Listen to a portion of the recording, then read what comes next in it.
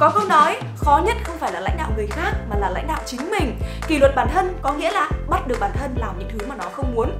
Vậy làm thế nào mà Trang bắt được bản thân mình biến từ một người luôn luôn trì hoãn thành một người hoàn thành đúng công việc và đúng deadline hay từ một người chuyên đi muộn thành một người luôn luôn đi sớm hoặc cùng lắm là đúng giờ. Trang sẽ chia sẻ cho các bạn trong video ngày hôm nay nhé. Và chào đón các bạn đang cùng quay trở lại với YouTube channel I am Mai Trang. Điều đầu tiên mà các bạn làm để rèn luyện được sự kỷ luật của bản thân đó là tìm thấy động lực của chính mình. Nếu như không có động lực thì kỷ luật nó cũng xa vời lắm các bạn. Nếu như các bạn đang ở trong một hoàn cảnh quá thoải mái, quá dễ chịu thì có lẽ kỷ luật chưa chắc đã đến với bạn một cách dễ dàng đâu. Tuy nhiên nếu như ngay cả ở trong trường hợp chúng ta cảm thấy thoải mái và dễ dãi với bản thân mà vẫn có thể có được kỷ luật và động lực cho bản thân mình thì đó mới là điều xuất sắc. Giống như người ta hay nói, giàu mà vượt sướng thì thử thách gấp trăm lần nghèo mà vượt khó phải không nào? Thú thật với các bạn nhé, Trang thường xuyên ở trong hoàn cảnh cảm thấy quá thoải mái và dễ chịu với bản thân mình. Bởi vì Trang thấy giống như là Trang đang được sống ước mơ của mình vậy. Trang không quá thiếu thốn này, mọi thứ đều đã đạt được rồi này Rồi là công ngăn việc làm cũng đã ổn định. Mình vẫn tạo ra giá trị cho những người xung quanh Và mỗi ngày cuộc sống của mình đều hạnh phúc và vui vẻ. Vậy thì lấy lý do đâu ra để mình có kỷ luật Để mình có động lực làm những thứ trong cuộc đời của mình phải không nào? Đây chính là cái bẫy mà không chỉ Trang mà rất nhiều người đang gặp phải. Cái bẫy này nó đang kìm hãm chúng ta có thể phát huy được hết những khả năng của mình. Và nói thật nhá, Trang cũng đang phải tìm cách để vượt qua được chính cái bẫy này mỗi ngày đấy các bạn ạ. Vậy để có thể tìm được kỷ luật cho bản thân thì có một cách đó là hãy nhìn vào những người đã thành công như mình, thậm chí là hơn mình rất nhiều lần và tìm hiểu xem tại sao họ vẫn có kỷ luật và động lực để làm những thứ mà họ đang làm. Ở Việt Nam của chúng ta cũng có rất nhiều người thành công như vậy. Trang ngưỡng mộ những người đang tham gia chương trình Shark Tank Việt Nam như là Shark Linh Thái, Shark Louis, Shark Phú. Tại sao những người đã thành công như vậy rồi họ vẫn cứ có kỷ luật để họ làm được những thứ mà họ đang làm và tiếp tục cống hiến cho xã hội. Chúng ta phải tìm họ đã, sau đó là tìm hiểu xem lý do vì sao mà họ có những động lực này và họ làm như thế nào để có được sự kỷ luật cho bản thân. Sau đó mình học hỏi ở họ. Hãy cùng thử nghĩ xem nhé, những người này họ không thiếu tiền, họ cũng đã có cuộc sống viên mãn rồi, họ cũng đã có gia đình hạnh phúc rồi. Vậy tại sao họ vẫn làm những thứ mà họ đang làm? Kỷ luật ở đâu ra để họ vẫn đến công ty, để họ vẫn làm việc mỗi ngày? Rõ ràng động lực này không phải là vì tài chính, không phải là vì tiền bạc nữa phải không nào? Thế nhưng thường là họ sẽ có một động lực to lớn hơn, đó là sứ mệnh của họ, đó là thứ mà họ muốn cống hiến và cho đi cho thế giới này. Và đó chính là động lực kéo. Động lực sẽ đủ lớn, lao và to lớn để kéo họ đi đến cuối con đường bằng chính những sự kỷ luật của bản thân và khiến cho họ muốn sắp xếp lại cuộc sống của mình để kỷ luật hơn, để hoàn thiện bản thân mình tốt hơn và để sống với sứ mệnh của mình tốt hơn. Động lực kéo thì sẽ đến dễ dàng hơn ở một số người, nhưng cũng sẽ đến muộn màng hơn ở một số người khác. Ví dụ như trang cũng vẫn đang ở trên con đường đi tìm động lực kéo này của mình và càng đi tìm thì mình sẽ càng thấy nó mạnh mẽ hơn, càng có mong muốn được kỷ luật hơn với bản thân mình. Nếu như động lực kéo là thứ giúp cho chúng ta tự kỷ luật với bản bản thân mình và hào hứng với sự kỷ luật đó thì động lực đẩy sẽ là thứ khiến cho chúng ta mong muốn thoát khỏi hoàn cảnh. Tuy nhiên có một điều phải nói rằng động lực đẩy mặc dù dễ dàng khiến cho chúng ta có kỷ luật hơn nhưng nó cũng sẽ là thứ dễ khiến cho chúng ta chán nản hơn khi mà chúng ta cảm thấy cuộc sống của mình cũng đã ổn ổn rồi, tức là chúng ta bước vào cái bẫy mà hầu hết chúng ta đang gặp phải đấy. Tạm ổn rồi thì không còn có động lực phải đi tiếp nữa. Và đây chính là lúc mà động lực kéo cần phải xuất hiện để kéo chúng ta tiếp tục đi lên. Khi tìm ra được động lực đẩy và động lực kéo rồi thì kỷ luật sẽ tự đến với các bạn. Tức là khi khi các bạn đã tìm ra được lý do rồi thì cách làm như thế nào và làm ra sao sẽ tự đến với các bạn một cách tự nhiên thôi. Và khi học hỏi ở những người thành công hơn mình, khi đã nhìn thấy những case study, tức là đã nhìn thấy những người đi trước cho mình nhìn thấy con đường rồi, thì các bạn cũng sẽ cảm thấy việc lập kỷ luật cho bản thân dễ dàng hơn rất nhiều. Thứ hai, hãy nhớ rằng thời điểm tốt nhất để bạn làm một việc chính là khi mà bạn không muốn làm nó nhất. Trang có rất nhiều người bạn mà có tính kỷ luật rất cao và những người bạn này sẽ là những người mà kéo Trang ra khỏi sự bê bối khi mà mất động lực. Những khi mà Trang cảm thấy động lực của mình đi xuống đáy, mình rất muốn chỉ một ngày thôi không kỷ luật với bản thân và được sống với những cảm xúc của mình thì Trang sẽ thường hay mon men đến lại gần những người bạn này, tâm sự với họ và than thở với họ một chút. Và ngay những thời điểm đó thì họ sẽ cho Trang những câu nói để đời mà chắc chắn là sẽ kéo Trang dậy và khiến cho Trang bắt buộc phải kỷ luật với bản thân và nhìn nhận lại chính mình. Cho các bạn một ví dụ nhé. Cách đây vài năm khi mà Trang còn sống ở Sài Gòn, lúc đó thì chưa có xe ô tô, đi Grab trong Sài Gòn thì thường là khoảng cách rất là xa, Grab đi nhiều cũng rất là tốn kém cho nên Trang cũng có một cái xe máy để thỉnh thoảng đi lại. Hôm đó là một ngày mà trời mưa rất là to và Trang phải đi học. Trong Sài Gòn khi mà trời mưa to thì rất là dễ ngập và lúc đó bắt xe cũng rất là khó nữa, tiền xe lại còn cao. Vậy cho nên là Trang quyết định là sẽ đi xe máy. Nhưng mà lấy cái xe máy ra và nhìn trời ở ngoài thì thấy trời mưa to quá chừng luôn mà đi học thì xa ơi là xa. Lúc đó Trang đi học với một người bạn của mình nữa. Và Trang có quay sang nói với bạn là, Ê, hay thôi đi, bảo thầy là chuyển buổi học sang hôm khác đi. Chứ mưa thế này chắc thầy cũng ngại lắm. Mà mình thấy đổi buổi học cũng hợp lý mà. Bởi vì mưa to, gió lớn quá, học sinh còn được nghỉ học. Chứ đừng nói là mình phải đi học phải không nào? Nghe nó rất là hợp lý.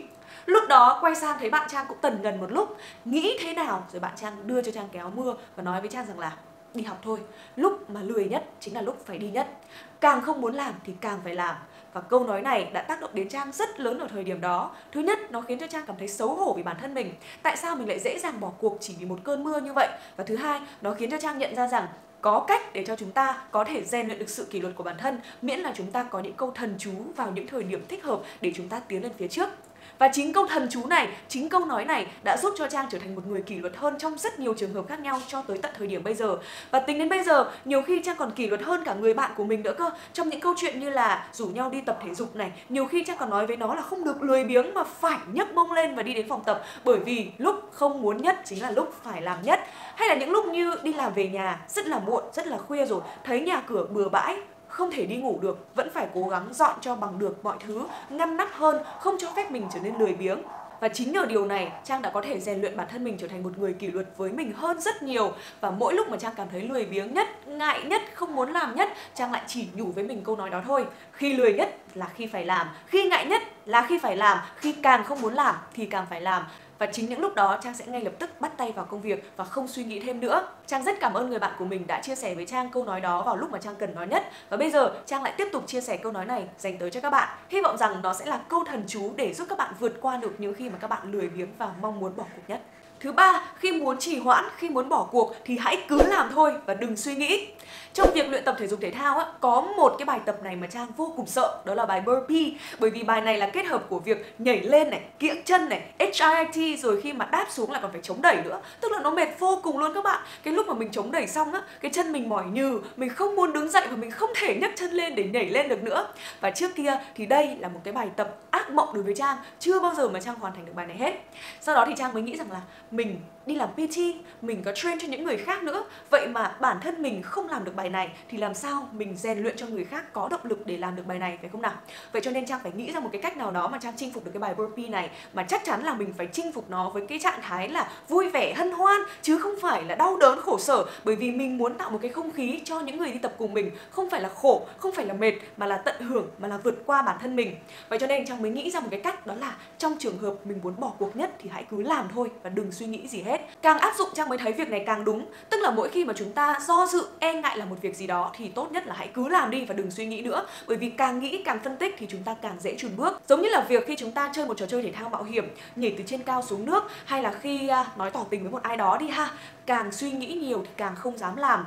Càng suy nghĩ là tỏ tình nhỡ người ta từ chối thì sao? Càng không làm được. Càng chơi thể thao mạo hiểm mà càng nghĩ là, ui, nhìn từ trên cao xuống sợ như thế này làm sao mà dám nhảy? Ui, nhìn cao thế này làm sao mà dám đi? Thì chắc chắn không bao giờ đôi chân của chúng ta dám bước đi. Và ngay khi cái cảm giác sợ hãi đó nó xâm lấn chúng ta thì cơ thể của chúng ta tự dưng bị bủn rủn hơn và nó khiến cho chúng ta tự bảo vệ bản thân mình khỏi những khó khăn, khỏi những áp lực và chùn bước.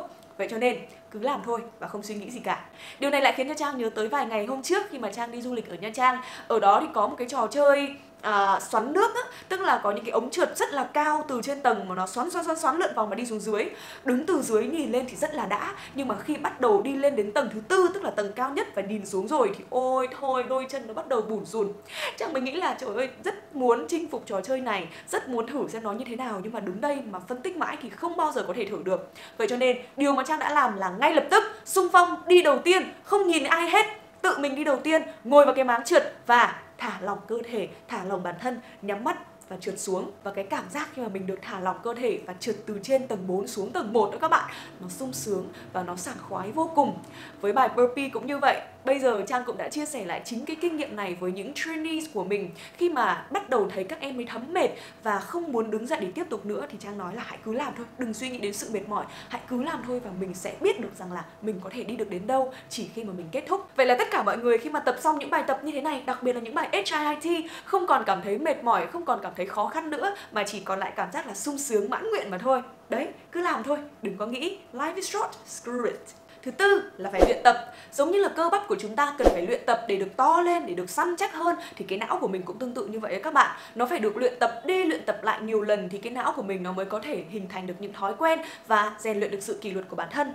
Giống như là trí nhớ, nó cũng có một loại được gọi là muscle memory, tức là cơ bắp cho trí nhớ của mình.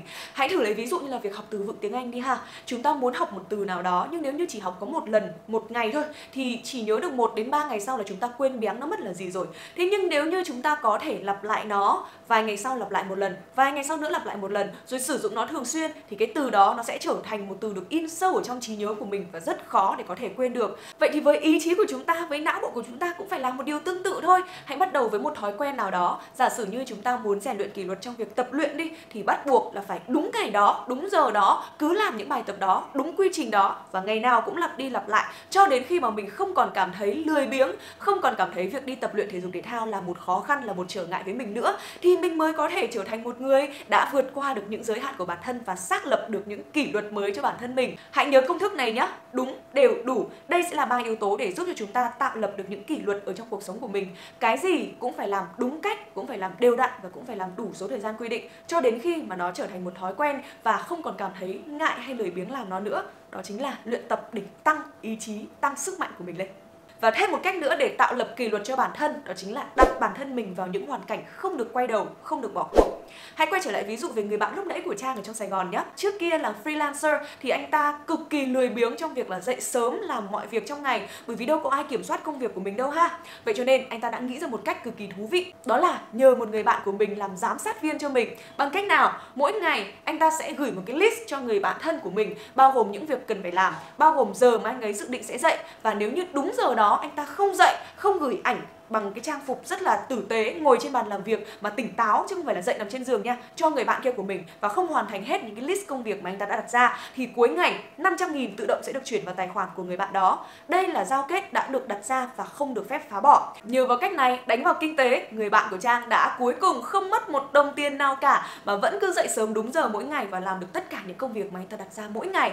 Đơn giản, bởi vì sự kỷ luật đôi khi cũng phải đặt ở trong một hoàn cảnh mà không được phép bỏ cuộc. Để cho chúng ta tiếp tục đi về phía trước phải không nào? Còn với Trang, câu chuyện của Trang là trong năm 2020, Trang rất muốn có thể cho đi nhiều hơn và làm được nhiều thứ cho cộng đồng, nhưng Trang biết rằng nếu như chỉ là một mình thì rất dễ bỏ cuộc và rất dễ lười biếng. Vậy cho nên ngay từ đầu năm vào tháng 1 Trang đã thành lập biệt đội bơm lực và kéo những người bạn của mình cùng tham gia với mình. Trang tuyên bố ngay mỗi tháng phải có một video, mỗi tháng phải làm được một sự kiện và khi mà Trang đã tuyên bố và trở thành leader của nhóm cũng như có sự tham gia của những người bạn khác rồi thì rất là khó để có thể bỏ cuộc bởi vì bỏ cuộc thì nhục lắm các bạn ơi. Vậy cho nên có những thời thời điểm Trang vô cùng bận luôn á khi mà mỗi tối đi về nhà đã là 11 12 giờ đêm nhưng vẫn cứ phải cố gắng ngồi để chuẩn bị cho 7 giờ sáng mai đi quay rồi vẫn không bỏ cuộc. Chính nhờ những người bạn của mình, chính nhờ teammates của mình không bỏ cuộc, mình cũng không bỏ cuộc. Cho nên bây giờ khi mà nhìn lại Trang cảm thấy cảm ơn bản thân mình và những người xung quanh vô cùng bởi vì nếu như không có những khoảnh khắc như vậy thì mình đã bỏ cuộc từ lâu rồi, mình đã không rèn luyện được cái gì từ lâu rồi. Qua một năm Trang đã trưởng thành hơn và đã có thể rèn luyện được kỷ luật bản thân nhiều hơn cũng như đóng góp được nhiều giá trị hơn cho cộng đồng cho xã hội. Trời, vui không nào? Vậy các bạn cũng tương tự như thế, muốn có kỷ luật ở mức tối đa, hãy đặt bản thân mình trở nên chịu trách nhiệm trước những người xung quanh và đặt bản thân trong những tình huống không thể bỏ cuộc được để bắt buộc bản thân phải tiến về phía trước.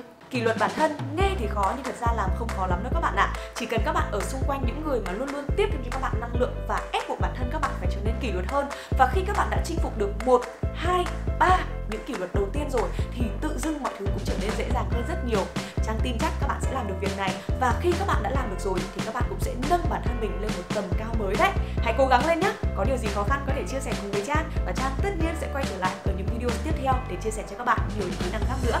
Xin chào và hẹn gặp lại.